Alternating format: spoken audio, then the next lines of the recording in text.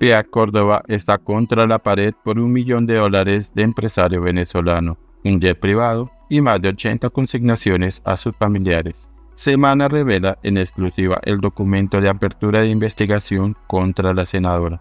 Millonarias comisiones por la intermediación en pagos, consignaciones a sus familiares y hasta un jet para usar a su antojo. Un millón de dólares entregado por un empresario venezolano, un lujoso jet privado puesto completamente a su disposición, y el reporte de millonarios movimientos bancarios a sus familiares son algunas de las nuevas evidencias en contra de la senadora del pacto histórico Pia Córdoba y que forman parte del voluminoso expediente contra la congresista que fue llamada indagatoria para responder por delitos de enriquecimiento ilícito, falsedad en documento y peculado.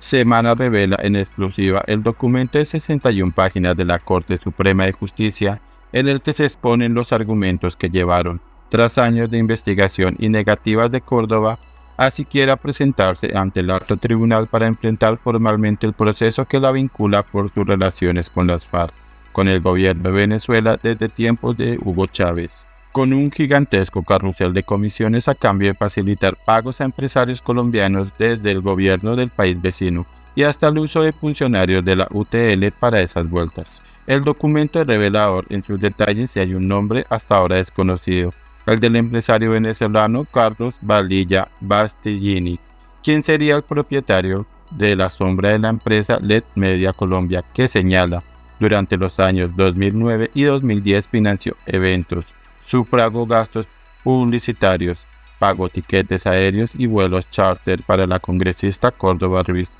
su familia y tercero, en razón de la intermediación de aquella en el vecino país lo que condujo a que tanto su patrimonio como el de sus familiares más cercanos se acrecentara sin justificación. Justamente sobre LED Media señala el llamado a indagatoria que fue creada al parecer con el único fin de ser el vehículo para que Córdoba dispusiera de ellos en favor suyo, en particular a través de gastos de desplazamientos de quienes ella determinara en la realización de eventos públicos, pago de vuelos privados dentro y fuera de Colombia, o para ser entregados en efectivo a ella directamente o por medio de sus asesores. Las pruebas indican que la sociedad LED Media era de propiedad de Carlos Baticini, pero era dirigida por interpuesta persona a través de Nilton Polanco Lazo, y así lo habría confesado este último. Dicha relación implicaba pagos millonarios, incluso, según lo investigado por la Corte, hablan de uno por un millón de dólares. Los compromisos económicos que adquiría Basticini con la senadora Córdoba para que ésta a su vez prestara sus servicios ante el gobierno de Venezuela y de acuerdo con el empresario era que entregaría un millón de dólares, lo que se invertirían conforme a las necesidades de la porada. Lo más grave es que esa empresa era de papel. Fue justamente Polanco quien prendió el ventilador y dijo que justamente en los años 2009 y 2010 cuando se dieron las millonarias transacciones, la empresa no tuvo operación comercial ni reportó gastos, dineros que al parecer en su mayoría tuvieron como destino los compromisos económicos adquiridos con Córdoba, sin que generara ninguna cuenta por cobrar o acreencia en favor de la compañía. Dice sin ambajes el documento. En el expediente de la Corte Suprema aparece otro nombre, no menos importante, el del señalado narcotraficante venezolano Wally McClure García, conocido como el Turco, capturado en Colombia en agosto de 2010, lo que desató una tormenta diplomática. Era requerido por Estados Unidos y Venezuela, pero fue entregado a este último país, donde fue condenado a 14 años de prisión. Una declaración de McClure sobre la relación que sostenían Córdoba y Bastitini señala que ella captaba empresarios colombianos y ella, Córdoba se los presentaba a Hugo Chávez. Por esa presentación cobraba 600 millones de bolívares. Si de esa reunión después el empresario que había sido presentado lograba un contrato del 10%, eran para ellos. Y agregó que me manifestó que estaba financiando varias campañas y una de ellas de la señora Córdoba, a quien le puso a disposición un jet privado de lujo para moverse a cualquier parte. No es como ella dijo que era una avionera, era un jet de lujo el combustible y todos los gastos como comida, hoteles y lo del jet lo financiaba el señor Bastitini. Ese jet es de propiedad de él. Ella era la que llevaba empresarios tanto colombianos como venezolanos, estos últimos recomendados por Bastitini y les hacía la cita con el presidente. Ella era amiga del presidente Hugo Chávez. Sobre el presunto enriquecimiento ilícito, la Corte retoma el tema de la Comisión Nacional de Administración de Divisas, CADIVI, que ha rodeado a Pia Córdoba y en el que aparece otro empresario en millonarias exportaciones ficticias. Se trata de Alberto Arosh Mugravi, señalado por lavado de activos. Entre otras operaciones ilegales, las exportaciones ficticias a Venezuela, entramado del que sostuvo que Arosh Mugabe utilizó los servicios de Córdoba mediante el pago de una comisión del 10%. Se lee en el documento. En toda esa trama, un nombre que también ha sonado de manera recurrente es el del excongresista Miguel Pinedo, que también participó en la intermediación para facilitar los pagos desde Venezuela a cambio de comisiones.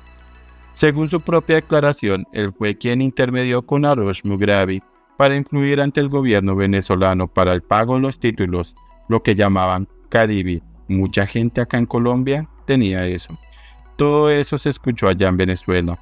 En Colombia mantenían eso cerrado y ella era el vehículo, explicó Pinedo en otro demoledor testimonio recaudado en la Corte contra Córdoba. La conclusión plasmada en el documento de la Corte es demoledora. Se puede afirmar que Córdoba habría adelantado con el auxilio de Andrés Vázquez, asesor de su UTL, actividades al parecer irregulares que, a la postre, le habrían reportado cuantiosos ingresos, al paso que sus familiares más cercanos reportaron unos movimientos patrimoniales injustificados por cientos de millones de pesos, confrontada la actividad de cada uno.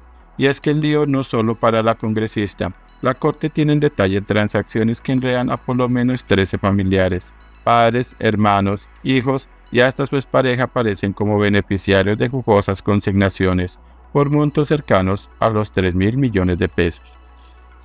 Se tiene que los informes de Policía Judicial números 29875-177 y 29875-278 del 1 de junio y 13 de agosto de 2021, respectivamente, contentivos del estudio patrimonial de la investigada y de su núcleo familiar extendido arrojaron como resultado ingresos por justificar de sus familiares cercanos, quienes no tenían actividad económica identificada, en particular por la suma de 2.867.136.672 pesos.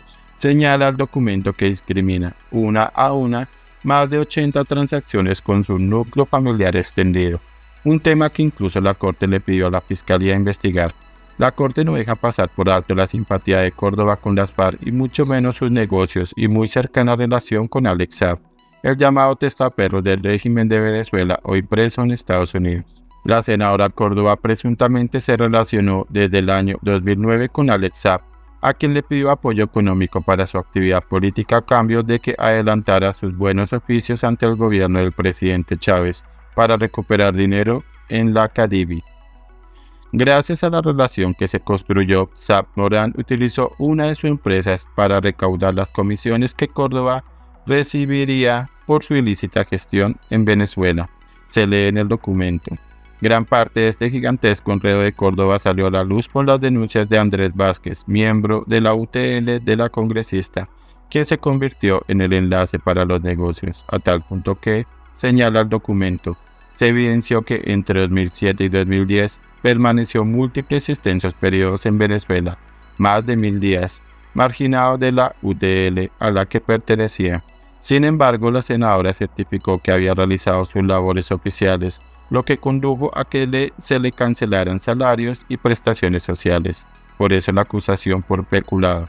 Córdoba ha insistido que en esta investigación no es más que una persecución por sus férreas posiciones políticas no asistió a las citaciones de la Corte Suprema de Justicia y ahora deberá enfrentar el juicio en el que tendrá espacio para su defensa.